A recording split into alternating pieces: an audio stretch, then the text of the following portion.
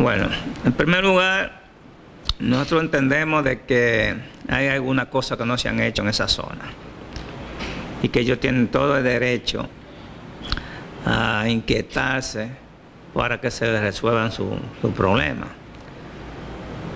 Lo que nosotros no compartimos son esas amenazas de que por cualquier cosa ellos quieren llamar aquí a un paro y también quieren ya hacer llamado a la intranquilidad de San Francisco de Macorís.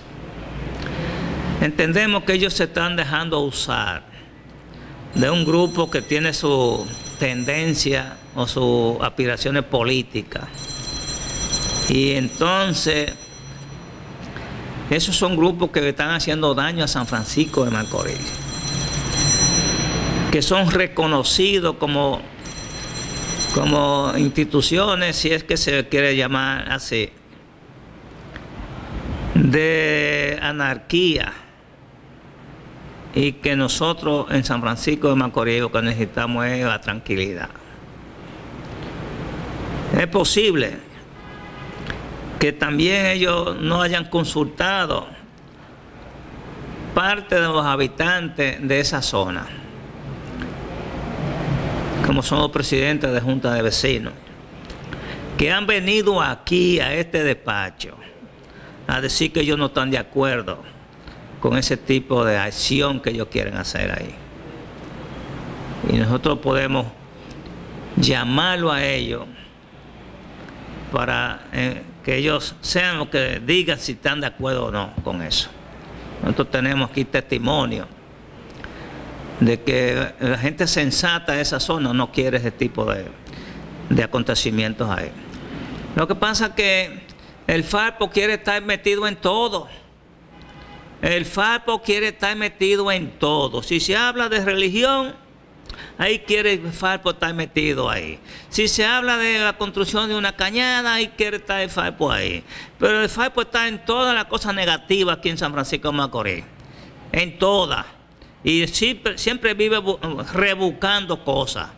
Yo pienso que, que nosotros eh, debemos de descartar a esos dirigentes que le hacen daño a Macorís gente que no tienen otra cosa que hacer que no sea eh, salir a buscar problemas. ¿Por qué no vienen con soluciones? ¿Por qué no vienen y se sientan aquí ayudarnos a que las cosas se resuelvan? Ah, no, lo que quieren es la intranquilidad. Porque ellos viven de eso. De eso es que ellos viven. Ellos no tienen otro medio de vida que no sea tener este pueblo en jaque y en tranquilidad. Desde luego, Aquí se está trabajando, el gobierno está trabajando, el gobierno tiene cosas positivas para San Francisco de Macorís y la provincia. Ellos no hablan de eso. Hay temas que se le están cayendo, como son el 24 horas, ya ellos no, no, no, no mencionan mucho de 24 horas porque saben que se está resolviendo. Ellos no hablan mucho del hospital ya porque ellos saben que el hospital, el hospital es, una, es una realidad. Ellos no hablan mucho de, sino que andan buscando cosas porque ese es el trabajo que ellos tienen. A mí me gustaría verlo produciendo para San Francisco de Macorís, en una buena empresa, un, buen un negocio, algo, para que den fuentes de empleo a la gente. Porque me da como que ellos no tienen muchas cosas de hacer. Eso, y, además yo no sé cómo que yo, cómo que ellos generan recursos para vivir. Porque yo lo veo limpio a ellos y bien y, con zapatos buenos y ropa buena. ¿Y, de dónde que generan esos recursos? Como que viven tiene que ser de, de, de desorden, porque yo no veo otra fuente de ingreso que yo tenga.